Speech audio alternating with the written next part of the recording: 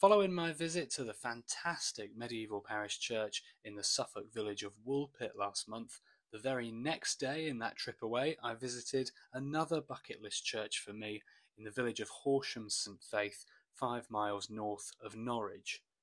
This Norfolk church is not dedicated to St Faith, as you might think. Rather, it is dedicated to St Mary and St Andrew. The parish was home, though, to the Priory of St Faith, which partly survives as a private dwelling to the north of the parish church. St Mary and St Andrew's Parish Church is a handsome hodgepodge of medieval and later rebuilding. I appreciate the character of a church which is not completely of one single built phase or architectural style, and what may look a little rough around the edges here is well ordered inside. The church has been reordered with great success, I knew nothing about its interior arrangement or modern facilities before I turned the door handle and stepped foot into the nave of this building. Medieval treasures abound, and treasures these truly are. I don't like to overuse the word church treasures, but in this case, it is the exception. There are certainly some treasures here.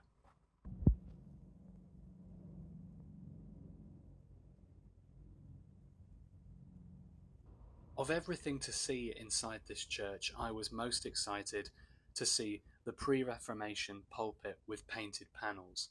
Some of the figures around the pulpit include the Blessed Virgin Mary, Saint Faith, Thomas of Canterbury, Saint Christopher, Saint Andrew, John the Evangelist, John the Baptist, and Saint Stephen.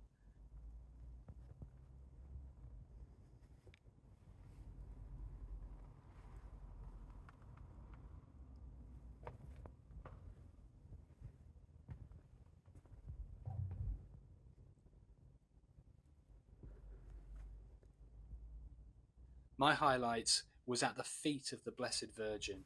Kneeling in prayer is a clerk with a scroll reading, Merciful Lady, Queen of Heaven, keep me from the deadly seven sins.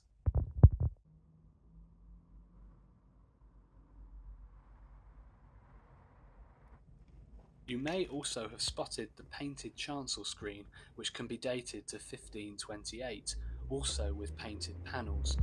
It is quite compact, with six figures on each side of the screen, and which have all remarkably survived despite being mutilated in centuries past. Simon Knott's entry for this church on the Norfolk Church's website dives into the iconography and interpretation of those figures accounted for in these painted panels in great detail.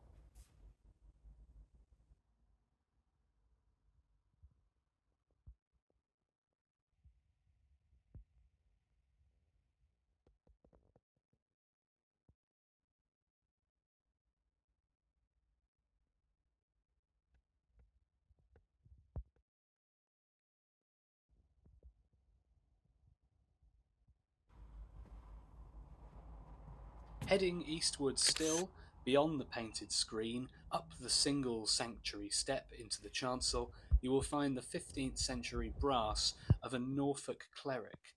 It depicts Geoffrey Langley, who was one time a prior of Horsham St. Faith and who died in 1437. Interestingly, this monumental brass was not originally in this church, but at St. Lawrence in the city of Norwich. It was brought here when that church was declared redundant in the 1970s.